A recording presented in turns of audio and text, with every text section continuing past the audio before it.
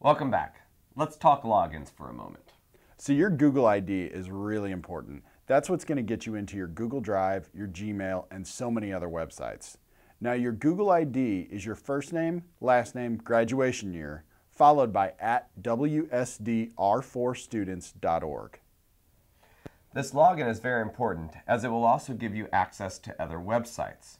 For example, UJAM. If you go to that website and click on Login, there's going to be an option that says log in with your Google ID.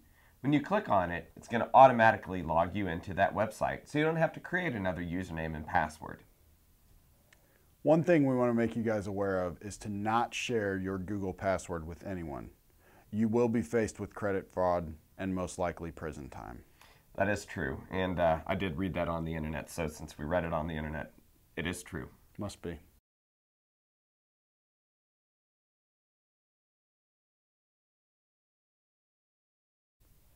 Seriously, guys, we do want you to keep your password secure as everything you do in your Google Drive or in your Gmail is accessed with your username and password, so please be careful.